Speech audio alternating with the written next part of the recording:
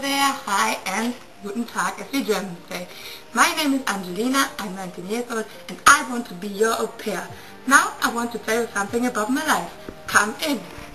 Here I live together with my mom and her partner. We live in a small estate in Germany, which is called the Saarland. There we live in a small town. And this? This is my little room. Now to my personality. My hobbies are cooking, listening to music. I love shopping, being outside or spending time with my best friends.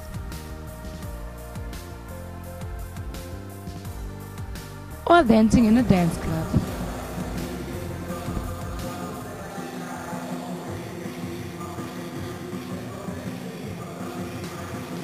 In my free time, I'm always surrounded by children. After school, I do voluntary work in the kindergarten, or at the weekend, I do babysitting.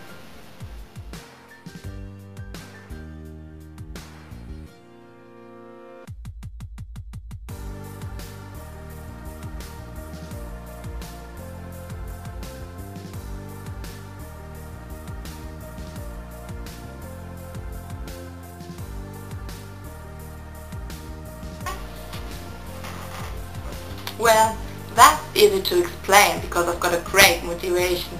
I really love children and it's fascinating to see how they grow up.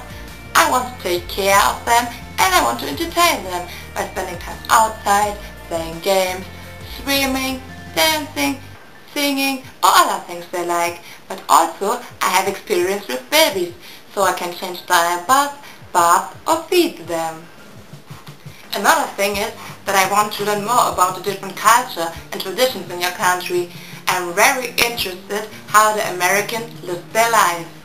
Furthermore, going abroad as an au pair is the best decision to meet new people, have a lot of fun with family and the children, and assume responsibility.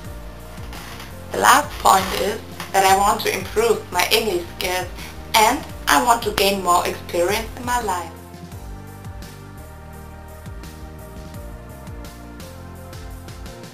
My best friend Angelina is very fond of children, tolerant, humorous, creative, friendly, honestly and flexible.